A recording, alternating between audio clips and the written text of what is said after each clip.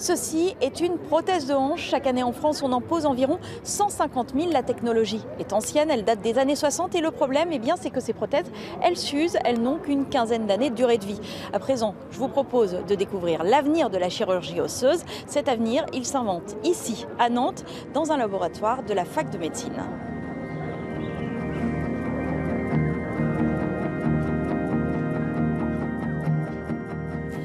Esmeralda souffre d'une maladie que l'on appelle neurofibromatose.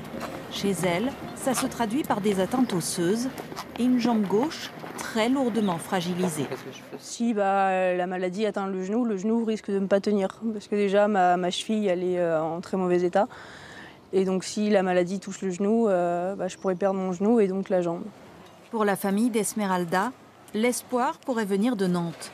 À la tête de la Ligue contre les neurofibromatoses, son père a financé pour 200 000 euros de matériel et de recherche dans ce laboratoire qui pourrait remplacer les prothèses en métal par ce type d'éléments aux mesures des patients et imprimé en phosphate de calcium, un minéral que l'on trouve dans les os.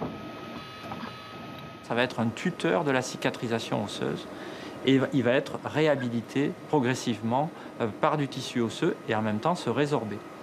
Euh, on travaille également à l'impression biologique, mais directement d'os, euh, avec des hydrogènes, avec des gels, dans lesquels on, met des cellules vivantes. Et ce qu'on espère, c'est arriver vraiment à faire dans un incubateur euh, un, petit bout d'os qu'on pourra implanter directement. Pour la technique de tuteur osseux, les essais ont déjà débuté sur des brebis et doivent bientôt se poursuivre chez l'homme. Plus expérimental, les chercheurs travaillent aussi sur les tissus. Là, une oreille vient d'être imprimée dans un gel que des cellules de cartilage, ici en vert, coloniseront pour former un organe miniature. Par exemple, on commence avec ça et après il va falloir faire une deuxième couche qui ça va être justement une impression de la peau avec toutes les cellules qu'il faut pour arriver à imprimer la peau. Objectif fabriquer des prothèses sur mesure pour la reconstruction plastique, mais également tester en conditions presque réelles l'efficacité de chimiothérapie. L'intérêt, c'est que ces cellules mélangées, elles peuvent communiquer entre elles et la réponse aux agents de chimiothérapie sera différente suivant que les cellules sont en, en trois dimensions, comme dans nos tissus, ou en deux dimensions, comme dans une boîte de culture. Imprimer le vivant, une piste qui pourrait un jour aussi répondre au manque de dons d'organes. La science ici aurait tendance à dépasser la fiction.